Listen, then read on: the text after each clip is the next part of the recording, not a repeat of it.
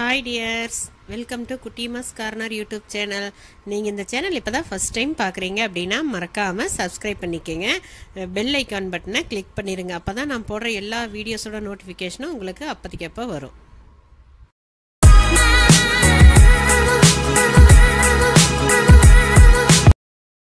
இன்றைக்கி நம்ம குட்டிமாஸ் கார்னரில் பார்க்க போகிற ரெசிபி சோம்பு குருமா. அதாவது எனக்கு இதுக்கு வந்து இன்னொரு பேரும் இருக்குது டீ கடை குருமான்னு சொல்லுவாங்க.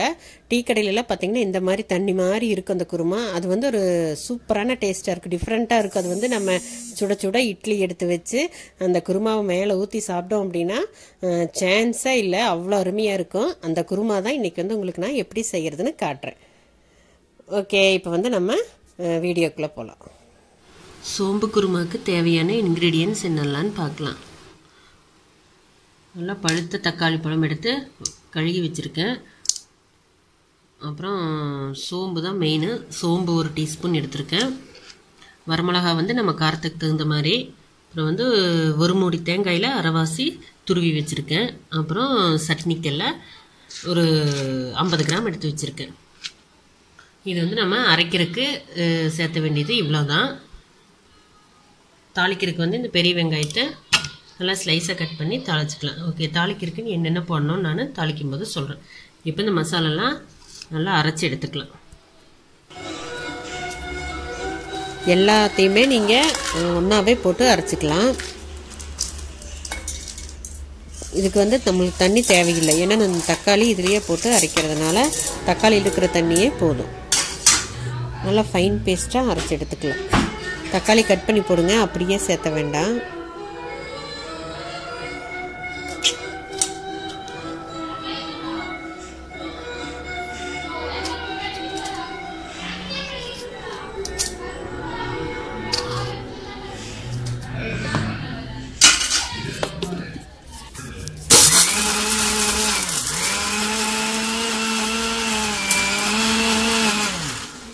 ஓகே அரைச்சாச்சு. இப்போ பாருங்கள் இந்த மாதிரி இருக்கணும். சூப்பர் ஃபைன் டேஸ்ட்டாக இருக்குது நமக்கு அரைச்சதுமே அதோட மனம் நல்லா வருது ஃப்ளேவர் வருது சோம்போடது ஓகே இப்போ வந்து நம்ம இந்த தாளிக்கிறதுக்கு தேவையான ஆனியன் வந்து கட் பண்ணி எடுத்து வச்சுக்கலாம். நான் வந்து இந்த இன்க்ரீடியன்ஸ் கம்மியாக எடுத்துருக்கறனால தான் ஒரே வெங்காயம் எடுத்திருக்கேன். நீங்கள் வந்து எவ்வளோ இன்க்ரீடியன்ஸ் எடுக்கிறீங்களோ அதுக்கு தகுந்த மாதிரி ஆனியன் சேர்த்துக்கிங்க தாளிக்கிறது நல்லா ஸ்லைஸாக கட் பண்ணி வச்சுக்கலாம். கட் பண்ணு. இப்போ வடக்கல் வச்சாச்சு. எண்ணெயும் நான் ஊற்றிட்டேன் ஆயில் தான் சேர்த்துருக்கேன். நீங்கள் என்ன ஆயில் யூஸ் பண்ணுறீங்களோ அதுவே போட்டுக்கோங்க. இப்போ எண்ணெய் காஞ்சதுமே கொஞ்சமாக கடுகு சேர்த்துக்கலாம்.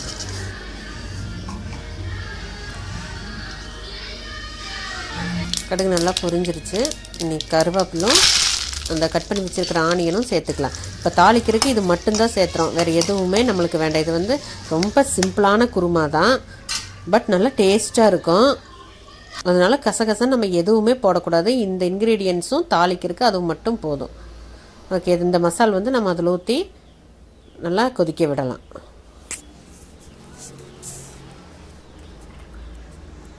இது வந்து நம்ம சின்ன வயசாக இருக்கும்போது பார்த்திங்கன்னா டீ கடையிலையெல்லாம் இந்த மாதிரி தான் கொடுப்பாங்க. தண்ணி மாதிரி இருக்கும். நம்ம அந்த சுட சுட இட்லிக்கும் இந்த குருமாக்கும் அவ்வளவு டேஸ்ட்டாக இருக்கும். சான்ஸே இல்லை. பட் இப்போல்லாம் இந்த குருமா யாருமே செய்யறதில்ல. இது வந்து நான் எங்கள் அம்மாட்ட தான் இதை கற்றுக்கிட்டேன் இந்த இடையில ஒரு டைம் வச்சு கொடுத்தாங்க எனக்கு. அது ரொம்ப சாப்பிட்டு ரொம்ப சூப்பராக இருந்தது. எனக்கு டிஃப்ரெண்ட்டாக இருந்தது டேஸ்ட்டு அதனால தான் நான் உங்களுக்கும் இதை செஞ்சு காட்டணும்னு இந்த வீடியோ போட்டிருக்கேன். இது வந்து இட்லிக்கு தோசைக்கு மட்டும்தான் நல்லாயிருக்கும் தேவையான அளவு உப்பு போட்டுக்கலாம். சப்பாத்திக்கு வந்து இந்த குருமா சூட் ஆகாது. அதனால் நீங்கள் இட்லிக்கு தோசைக்கு இந்த மாதிரி செஞ்சு பாருங்கள் ஓகே ஒரு ரெண்டு கொதி வரட்டும்.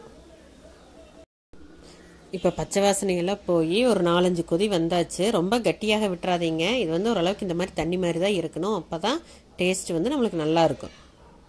ஓகே சூப்பராக மனம் வருது. அருமையான சோம்பு குருமா நம்மளுக்கு இப்போது ரெடி ஆயாச்சு. இப்போ நான் சுட சுட இட்லி எடுத்து வச்சுருக்கேன். அந்த இட்லிக்கு இந்த குருமாவை அப்படியே ஊற்றி சாப்பிட்டா சும்மா சூப்பராக இருக்கும். நீங்கள் கண்டிப்பாக ட்ரை பண்ணி பாருங்கள்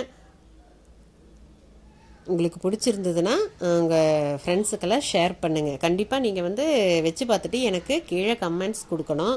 இட்லி பாருங்கள் எவ்வளோ ஸ்மூத்தாக இருக்குன்னு. சூப்பராக இருக்குது இட்லி. இந்த இட்லிக்கு இந்த குருமாவுக்கும் தான் சூப்பர் மேட்சாக இருக்கும்.